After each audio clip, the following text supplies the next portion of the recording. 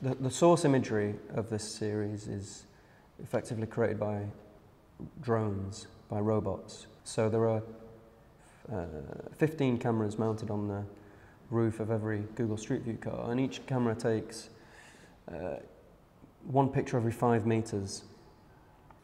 And a piece of software automatically stitches those images together. Every time an image is uh, created, its, uh, its coordinates, its GPS coordinates are, are, matched to a database that can then allow uh, us to, to navigate Street View online.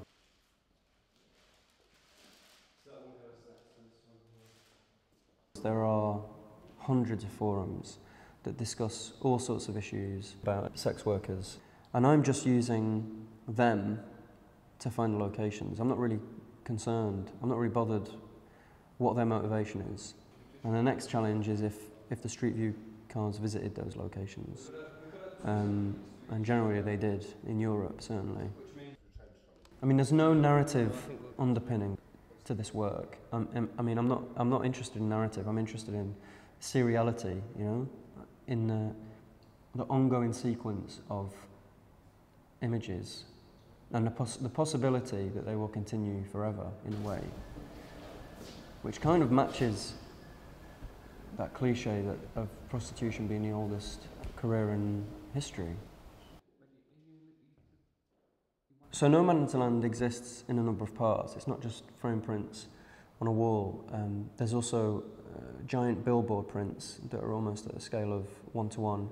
Um, and there's also an animation, which is a kind of road movie almost, a kind of drive-by that uses Street View to, to animate uh, the locations. And there are a series of print-on-demand books, which kind of chart the progress of the cars as they make their way through Europe and the world.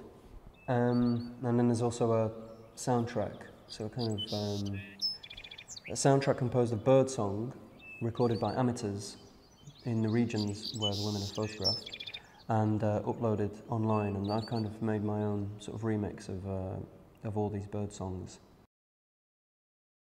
I think traditionally, if you were to approach this subject the approach of a photographer would be probably to try and humanize the figures in some way, or to try and you know evoke some sort of personal story.